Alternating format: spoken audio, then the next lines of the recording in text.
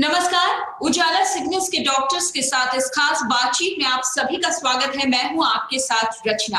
आज हम जिस खास मुद्दे पर बातचीत करने वाले हैं, आपके स्वास्थ्य से जुड़ा हुआ वो विषय है पेट दर्द। जी हाँ पेट से, पेट में होने वाली तमाम बीमारियाँ, जिससे बहुत सारे लोग जूझ रहे हैं और बारिश का मौसम है, इस दौरान ये बीमारियाँ और ज़्यादा बढ़ जाती हैं। इसी खास विषय पर बातचीत करने के लिए हमारे साथ खास मेहमान मौजूद है। हमारे साथ हैं डॉक्टर अंकुर जैन, साथ ही हैं डॉक्टर रईस खान और सुरेश कालरा, जो कि सोनीपत उजाला सिग्नस के यूनिट हेड हैं और ये तमाम डॉक्टर्स जो हैं गैस्ट्रो इंट्रोलॉजिस्ट हैं, इनसे हम जानेंगे कि पेट की वो कौन सी बीमारियाँ हैं जो इस दौरान, इस मौसम में बहुत ज़्यादा सताती है और अगर किसी को पेट में दर्द होता है तो उसकी क्या क्या वजह हो सकती है। सबसे पहले डॉक्टर अंकुर जैन, मैं आपके पास आऊँ। ये पूछना चाहती हूँ मैं आपसे कि ये जो मौसम चल रहा है आजकल, बारिश का मौसम खासतौर पर है पेट से संबंधित कौन कौन सी बीमारियाँ लेकर आपके पास लोग ज़्यादातर आते हैं? देखिए, इस खास करके इस मौसम में बहुत ज़्यादा कॉमनली गैस्ट्रोइंटेस्टाइनल या पेट से रिलेटेड इन्फेक्शन सामने आते हैं। जैसे कि लूज मोशन होना या पेट में दर्द होना या वॉमिटिंग होना। तो ये सीधा सीधा इसका संबंध हमारे खाने से जुड़ा हुआ है। क्योंकि इस मौसम में इन्फेक्शन ज़्यादा होता है या फिर हम थोड़ा सा भी इन्फेक्टेड फ़ूड अगर हमने खा लिया तो हम लोगों को पेट में इन्फेक्शन हो जाता है, जिसकी वजह से हमें पेट दर्द होना या उल्टी आना या उल्टी की सेंसेशन होना या लूज मोशन होना, यानी कई बार मोशन पास करना तो ये सारी दिक्कतें ज़्यादातर सामने आती हैं। तो इसके लिए अगर हम बात करें अपने बचाव के लिए, हमें बाहर का खाना, बाहर का पानी इस सीज़न में खासकर अवॉइड करना है। और जितना भी हो सके वेल कुक्ड फ़ूड यानी अच्छी तरीके से खाना जो प्रॉपरली बनाया गया है प्रॉपरली कुक्ड फ़ूड होना चाहिए, क्योंकि कुक्ड फ़ूड में इन्फेक्शन होने के चांसेस कम होते हैं। तो अगर हम बाहर भी जा रहे हैं तो हम ट्राई ट्राई करेंगे कि कोई भी खाना जो नॉन कुक्ड है, जैसे कि हमारा जितने भी खीरा है, प्याज है, टमाटर है, जो भी अगर हम सलाद की बात करें तो जो कि नॉन कुक्ड होती है, उसमें इन्फेक्शन के चांसेस ज़्यादा होते हैं, क्योंकि वो ज़्यादातर लोग बाहर से अनवॉश्ड रखते हैं सही से वॉश नहीं करके रखते तो अगर हमें बाहर जाके खाना खाना है तो ट्राई करें कि कुक्ड फ़ूड ले अनकुक्ड फ़ूड ना ले, जिसमें इन्फेक्शन के चांसेस ज़्यादा है। डॉक्टर डॉक्टर रईस खान भी हमारे साथ हैं। उनसे भी जानेंगे पेट से संबंधित इन रोगों के बारे में लेकिन उससे पहले मैं आना चाहती हूँ सुरेश कालरा जी के पास। सुरेश जी आप उजाला सिग्नस के यूनिट हेड हैं सोनीपत में।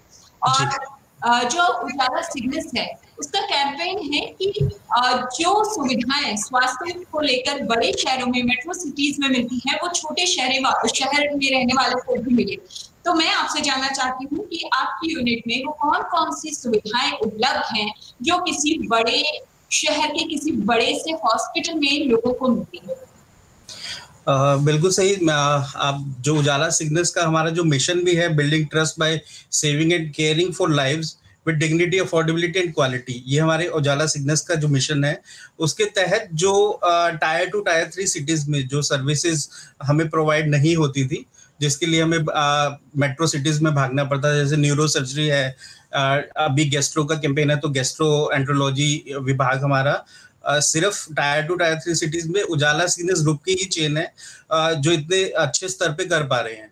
इसके अलावा हम और भी फैसिलिटीज़ के साथ हमने स्टार्ट किया है, जिसमें इंटेंसिव केयर है। इंटेंसिव केयर के लिए हमें मोस्टली क्या है कि मेट्रो सिटीज़ में भागना पड़ता था। जिसमें अभी मान लीजिए किसी पेशेंट का एक्सीडेंट हुआ है अब एक ही छत के नीचे उसे उसको सभी फैसिलिटी सभी तरह के इलाज मिलना बहुत ही नामुमकिन था tier two tier three cities में जिसको हमारी उजाला सिग्नस कंपनी ने आ, करके दिखा रहे हैं आगे बढ़ा भी रहे हैं हम चीज़ों को। अभी बहुत सारी फैसिलिटीज़ और भी स्टार्ट की है हमने आ, जैसे आईसीयू की टेली मेडिसिन हमने स्टार्ट किया है प्लस अभी एक हमने एक कैंपेन और स्टार्ट किया जिसमें हम जो भी हमारे डिस्चार्ज पेशेंट्स हैं उनके लिए हम वेलनेस सेंटर हमने बनाया है कि ताकि जो स्ट्रेस फ्री लाइफ वो जीते हैं, उस पे, उसको हम दूर कर सके। जिसमें हमें वेलनेस सेंटर में भी जो हमारे चेयरमैन है, उनका भी एक विजन था और मिशन बनाया था कि सभी को अच्छे से घर जा रहे हैं तो हैप्पी मूड में सब घर जाए। तो उसके लिए हमने प्राणायाम स्टार्ट किया, गायत्री मंत्र योगा कराते हैं। हम इन चीज़ों के साथ हम एक अलग ही जो ट्रस्ट है वो बिल्ड कर रहे हैं पेशेंट्स में। ठीक है। कुल मिला के बहुत ही शानदार काम कर रहा है उजाला सिग्नस खासतौर पर वहाँ के लोग जिन जिन तक वो तमाम मेडिकल सुविधाएँ मुहैया नहीं थी पहुँच नहीं थी जो बड़े शहरों में उपलब्ध है और बहुत ही कीमती बहुत ही ज़्यादा उनके प्राइस होते हैं लेकिन उजाला सिग्नस जो ऐसे शहर हैं जहाँ पर बड़ी सुविधाएँ स्वास्थ्य की उपलब्ध नहीं है, उन्हें वो तमाम सुविधा मुहैया करा रहा है। डॉक्टर रईस, मैं अब आपके पास आती हूँ। आप तो भले भांति अभी के हालात से परिचित हुए कोरोना काल, और अभी भी कोरोना के नंबर्स आने कम नहीं हुए हैं। क्या कोरोना का भी कोई संबंध है हमारे इंटरनल डाइजेशन सिस्टम से? या फिर आपके पास कोई ऐसा केस आया हो कि कोरोना किसी शख्स को हुआ हो, उसके बाद उसको पेट से संबंधित परेशानियाँ बढ़ गई क्या इन दोनों के बीच आपस में कोई संबंध है? देखिए, अगर हम कोविड देखें कोविड एक वायरल इलनेस है और वायरल इलनेस जितनी भी होती है यूजुअली मल्टी सिस्टम इन्वॉल्वमेंट होता है उनमें। कोविड का प्रेडोमिनेटली तो रेस्पिरेटरी सिस्टम पे इन्वॉल्वमेंट है, लेकिन क्योंकि ये वायरल इलनेस है तो मल्टी सिस्टम इन्वॉल्वमेंट है ही इसमें। यूजुअली पेशेंट्स जो होते हैं कोविड के one out of four patient can specifically present with gastrointestinal symptoms उनको vomiting loose motion pain abdomen ये स्पेसिफिकली हर चार में से एक पेशेंट को हो सकता है। और इनिशियल प्रेजेंटेशन जो हो सकती है कोविड की, जो गैस्ट्रो इंटेस्टिनल सिस्टम से रिलेटेड है वॉमिटिंग लूज मोशन खाली, और उसमें चेस्ट इन्वॉल्वमेंट रेस्पिरेटरी इन्वॉल्वमेंट कुछ नहीं होगी। ये हर चार में से एक पेशेंट हमारे पास आता है, ये सिम्टम्स लेके, और जिनको हमने डायग्नोज किया, उनको कोविड निकला आगे। तो इन एडिशन टू दैट बाकी जो पेशेंट्स हैं कोविड के, जिनको क्लासिकल रेस्पिरेटरी इन्वॉल्वमेंट होती है, जिनको सांस लेने में इश्यूज़ होते हैं सेचुरेशन ड्रॉप होती है कफ फीवर उनमें भी डाइजेस्टिव सिस्टम इन्वॉल्वमेंट होता है। वही वॉमिटिंग नौशिया उल्टी कम, वो फीलिंग आनी या लूज मोशन होना, ये तो क्लासिकल है इसमें। अब ऐसे कोविड पेशेंट जो रिकवर होते हैं, वो हमारे पास फिर आते हैं, उनकी जो मेन इश्यूज़ रहती है, वो ये रहती है कि उनकी जो एपिटाइट है, उनका जो भूख नहीं लगती उनको नंबर वन नंबर टू उनको अर्ली सटाइटी फुलनेस जैसे वो खाते हैं कुछ तो ऐसे उनका पेट ना फुल फुल फील होता है। तो ये सिम्टम्स है कोविड में। ऐसे पेशेंट्स आते हैं हमारे पास। और अदर देन दिस जो है कोविड एक वायरल इलनेस है, इसमें लिवर की इन्वॉल्वमेंट हो सकती है लिवर एंजाइम्स उनके रेज हो सकते हैं। तो ऐसे भी पेशेंट आए हैं हमारे पास जिनको ट्रांसएमानाइटिस हुई थी लिवर एंजाइम्स बढ़ गए थे। बट अल्टीमेटली वो फॉलो अप पे हमारे पास आते हैं, फिर वो रिकवरी हो जाते हैं। ठीक है। डॉक्टर सुनील जय भट्ट भी जुड़ चुके हैं हमारे साथ। डॉक्टर सुनील पेट से संबंधित बहुत सारे लोग हैं। पेट दर्द होता है तो लोगों को समझ नहीं आता कि वजह क्या है। क्या एसिडिटी की वजह से दुख रहा है गैस्ट्रिक की वजह से दुख रहा है या कुछ खा लिया उल्टा सीधा इस वजह से दुख रहा है और लोग घरेलू ट्रीटमेंट लेने लगते हैं। तो आ, मैं चाहूँगी आप थोड़ा डिफ्रेंशिएट करें कि किस तरह के स्टमक से संबंधित कौन कौन सी परेशानियाँ होती है और दर्द जो होता है, कभी अपर एब्डोमेन में होता है लोअर एब्डोमेन में होता है तो क्या कोई तरीका है कि हम पहचान सके कि आपके डाइजेशन में कोई इश्यू है या फिर आपको गैस्ट्रिक का पेन हो रहा है? तो पेट रिलेटेड बीमारियाँ जो है, वो बहुत सारे ऑर्गन्स को इन्वॉल्व करती हैं, जैसे कि इसोफेगस से लेके stomach small intestine large intestine pancreas liver gall bladder ये सब जो है, ये गैस्ट्रो गैस्ट्रोएंट्रोलॉजी में आता है। और जब पेशेंट हमारे पास पेट दर्द के संबंधित कोई विषय, कोई प्रॉब्लम लेके आता है तो हम पहले पेशेंट की हिस्ट्री और उसका एग्जामिनेशन करते हैं और उसके बाद हम पेशेंट को बताते हैं कि ये पेट का दर्द कहाँ पे, इसका जो ओरिजिन है वो कहाँ हो सकता है और उसके बाद हम उसको इन्वेस्टिगेट करते हैं। तो यूजुअली जो पेशेंट होते हैं वो गैस समझ के इसको कहीं लोकल केमिस्ट के पास चले जाते हैं ओवर द काउंटर कोई दवाई ले लेते हैं, जैसे कोई पेंटाप्रोजोल कोई भी एंटासिड ले लेता है। तो उस टाइम पेशेंट को लग सकता है कुछ टाइम के लिए कि मैं ठीक हो रहा हूँ बट कुछ टाइम दवाई छोड़ने के बाद या दवाई खाते हुए भी पेशेंट को लग सकता है कि मैं ठीक नहीं हो रहा हूँ। तो उस टाइम पे फिर पेशेंट को तुरंत एक गैस्ट्रोएंटोलॉजिस्ट को या जनरल फिजिशियन को जो भी आसपास में अवेलेबल है, वहाँ दिखाना चाहिए और प्रॉपरली इन्वेस्टिगेट करना चाहिए। ठीक है। डॉक्टर अंकुर जिस तरह का मौसम चल रहा है और जिस तरह की परिस्थितियाँ चल रही हैं हमारे देश में और जिस तरह का मौसम है और कोरोना इन्फेक्शन की संभावना एक बार फिर से उसकी तीसरी लहर आने की संभावना तमाम विशेषज्ञ जता चुके हैं। अब जब इस तरह की सिचुएशन है और मौसम भी बीमारियों का है तो लोगों को अपना किस तरह ख्याल रखना चाहिए कि उनका डाइजेशन सिस्टम अच्छा बना रहे और उनका मेटाबॉलिज्म अच्छा बना रहे? जी, बिल्कुल। जैसा कि आपने बताया, थोड़ा सा इन्फेक्शन का समय है, थोड़ा सा कोविड का डर है तो सबसे ज़रूरी चीज़ हम लोगों को अभी भी जो हम कोविड के प्रिकॉशंस फॉलो कर रहे थे सब फॉलो करने हैं। अभी भी सबको मास्क लगवाना है। And as far as possible जितना ज़्यादा हो सके सबको वैक्सीन लगाना है। और जल्दी से जल्दी अगर सब लोग वैक्सीनेट होंगे तो कोविड का खतरे को हम थोड़ा काफ़ी हद तक टाल सकते हैं। दूसरा, अपने स्वास्थ्य के लिए, अपने पेट के लिए, जैसा कि डॉक्टर सुनील ने भी बोला कि अगर कोई भी पेट से रिलेटेड प्रॉब्लम होती है या पेन होता है तो आप अपने नियरेस्ट डॉक्टर के पास जाएँ। और उस चीज़ को अवॉइड ना करें। और इन बीमारियों से बचने के लिए घर का खाना खाएँ, बाहर का खाना as far as possible avoid करें। और ज़्यादा पानी पीना है और चाय कॉफ़ी या जैसी जितनी भी चीज़ें जो ज़्यादा एसिडिक होती हैं एसिडिक फ्रूट्स एसिडिक जूसेस ये सब अवॉइड करें। जिससे कि पेट के ऊपर ऊपर वाले हिस्से में जो होने वाली प्रॉब्लम है, जैसे कि फ़ूड पाइप या स्टमक में रिलेटेड जो भी प्रॉब्लम है, उसको अवॉइड कर सके। और जितना हो सके स्ट्रेस से दूर रहें, क्योंकि आजकल इरिटेबल बाउल सिंड्रोम या आईबीएस एक बहुत ही कॉमन बीमारी है जो कि स्ट्रेस से रिलेटेड है और बहुत ज़्यादा कॉमनली मिलने लगी है कोविड एरा में बिकॉज़ सब लोग ज़्यादा स्ट्रेस में है because of covid because of job because of their financial losses उसको अवॉइड करने के लिए as far as possible stress को अवॉइड करें। सही टाइम पे सोए, सही टाइम पे उठे। एंड uh, अपने जो नॉर्मल रूटीन जो कोविड से पहले था उसको फॉलो करें। And as far as possible घर में रहे बच के रहे। डॉक्टर रईस एक बहुत ही कॉमन सवाल लोगों का होता होगा। बहुत सारे ऐसे लोग हैं जिन्हें कॉन्स्टिपेशन की प्रॉब्लम है। उन्हें खाना डाइजेस्ट नहीं होता। वो सुबह खाते हैं तो शाम तक भूख नहीं लगती। ब्लोटेड बेली की शिकायत रहती है। अगर इस तरह की परेशानियाँ रहती हैं तो इसे कैसे दूर किया जाए?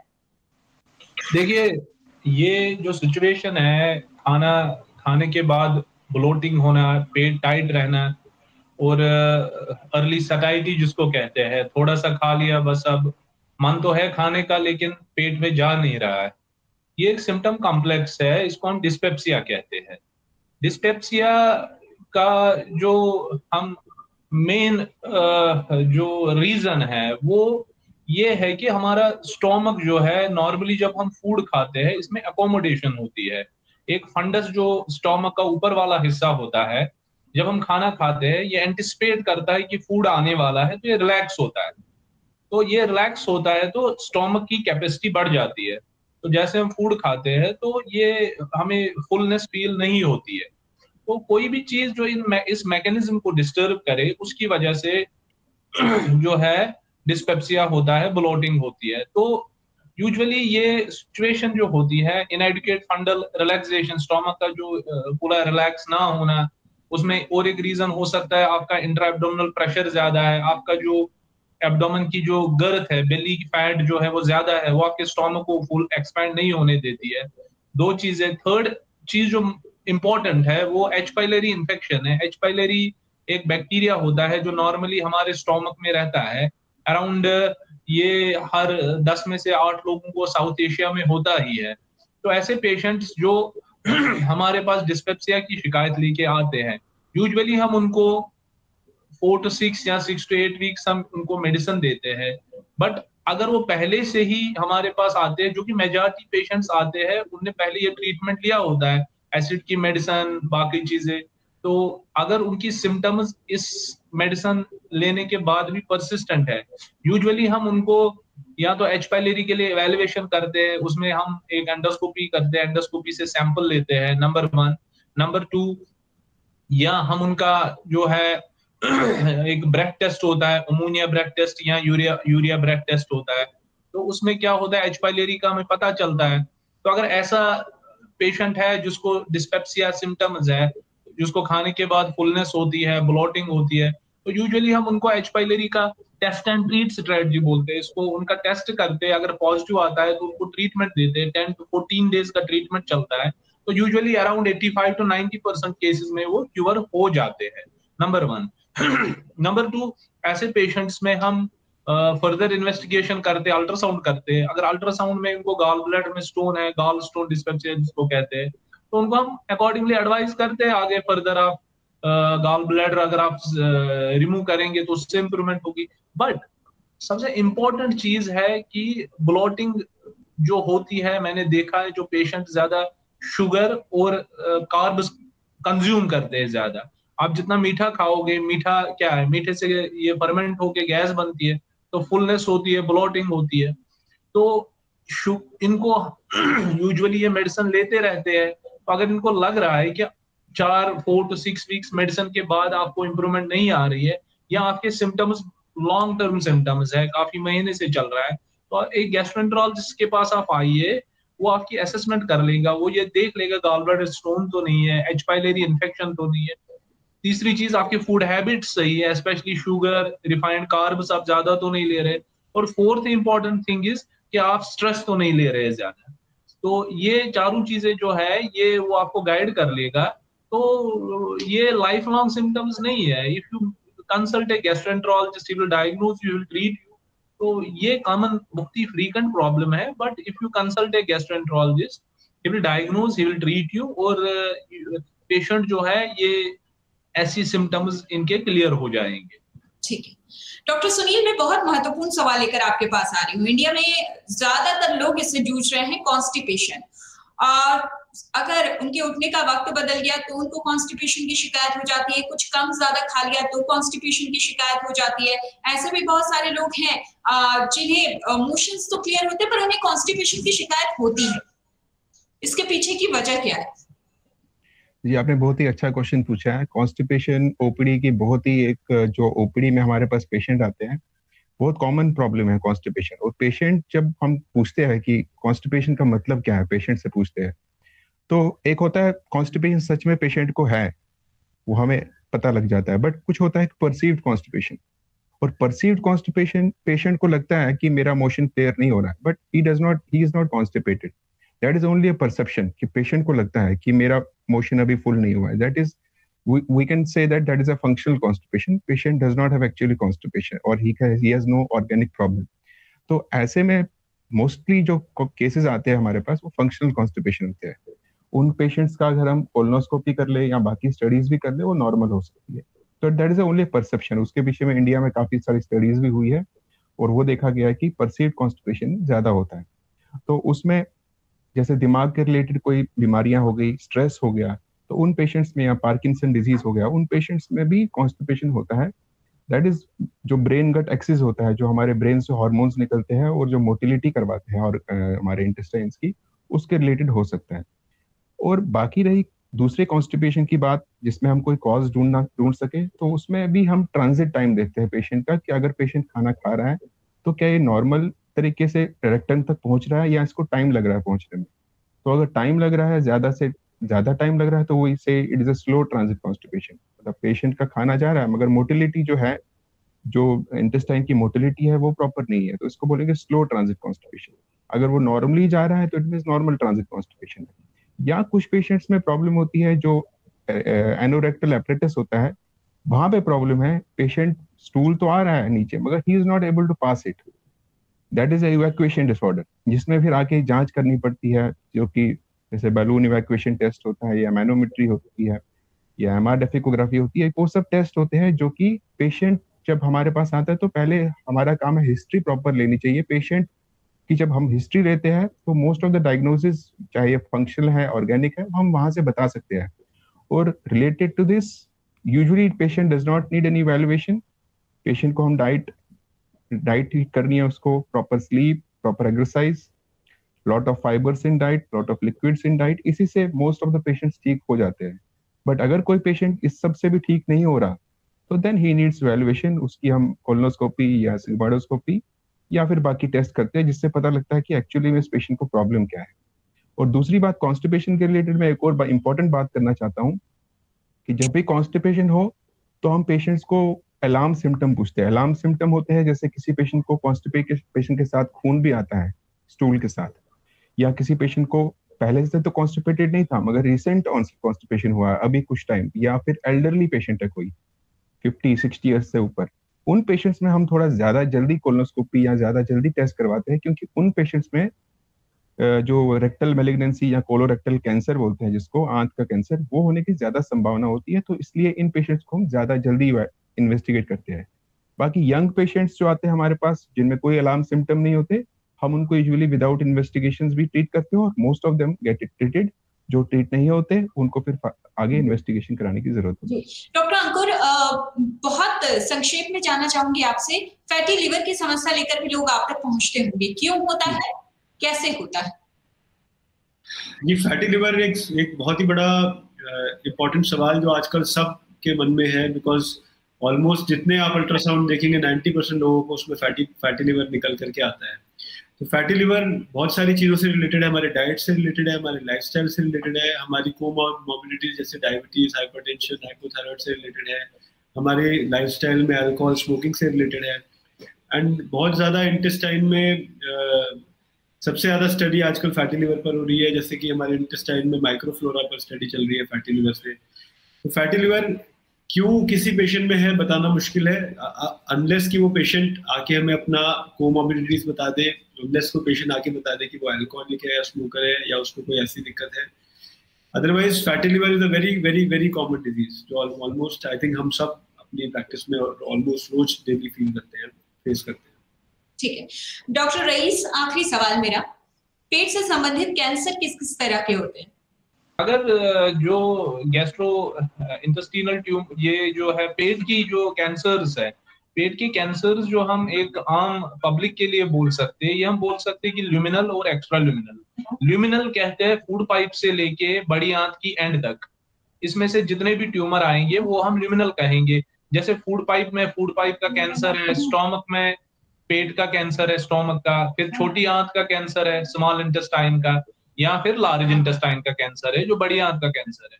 तो इसके बाहर जो पेट, जितने भी एब्डोमन में ऑर्गन्स है, चाहे लीवर है पेनक्रियाज है गाल ब्लैडर है तो या बाइल बिलरी ट्रैक्ट है, जो बाइल डक्ट्स निकलते हैं तो इनको हम एक्स्ट्रा ल्यूमिनल कैंसर्स कहते हैं।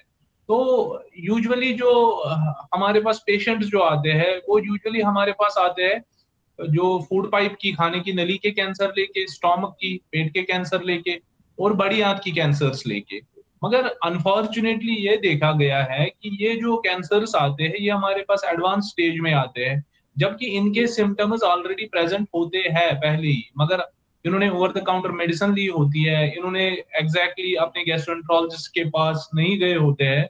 तो मेन जो पर्पस होता है इन कैंसर्स की अवेयरनेस का, वो ये है कि हम इनको अर्ली स्टेज पे डायग्नोज करें क्योंकि अर्ली स्टेज पे डायग्नोसिस में बेनिफिट ये है कि क्योर रेट बहुत अच्छी होती है।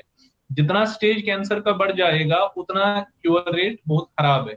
अगर किसी पेशेंट को गैस्ट्रिक सिम्टम्स है एसिडिटी है ब्लोटिंग है फुलनेस है, उसको हम देख रहे हैं, उसकी एंडोस्कोपी करके हम ये देखेंगे कि, या उसको फैमिली हिस्ट्री है गैस्ट्रिक कैंसर की, उसको हमने एंडोस्कोपी करके देखना है एच पाइलरी एच पाइलरी अगर पॉजिटिव आया मीन हम एंडोस्कोपी से हम ये भी देख सकते हैं उसमें इसको क्रोनिक गैस्ट्राइट्स तो नहीं है, बायोप्सी सैंपल लेके, एट्रोपिक गैस्ट्राइट्स तो नहीं है, या इनको अर्ली डिस्प्लेसिया तो नहीं हुआ है।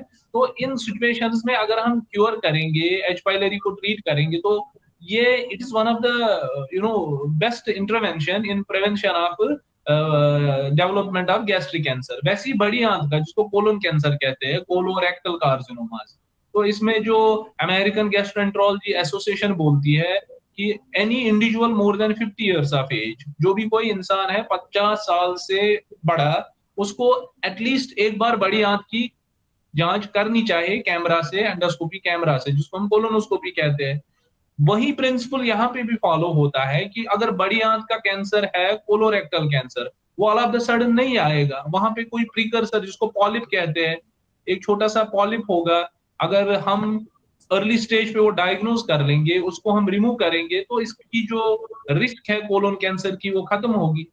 तो ये तो नॉर्मल इंडिविजुअल्स के लिए बड़ी आंत की जो कोलोन कैंसर जो है अगर फैमिली हिस्ट्री है किसी को कोलोन कैंसर की first degree relative father mother या भाई में है बहन में है उनको तो हमारे पास उसे पहले ही आना चाहिए। वैसे गाल ब्लैडर के कैंसर है जो हम गाल ब्लैडर मेलिग्नेंसी है हमारे पास पेशेंट आते हैं गाल ब्लैडर स्टोन लेके लेकिन नॉर्थ इंडिया में अगर देखा जाए तो गाल ब्लैडर मेलिग्नेंसीज बहुत ही कॉमन है। गाल ब्लैडर के कैंसर में अनफॉर्चुनेटली सर्वाइवल बहुत कम है। तो गाल ब्लैडर कैंसर का जो रिस्क है, वो आपकी गाल ब्लैडर की स्टोन जो एक सेंटीमीटर से बड़ी है, चाहे वो सिम्टम करे या ना करे, एक सेंटीमीटर से स्टोन बड़ी हो गई गाल ब्लैडर में, वो आपको निकालना है गाल ब्लैडर ठीक है डॉक्टर रईस बहुत बहुत शुक्रिया।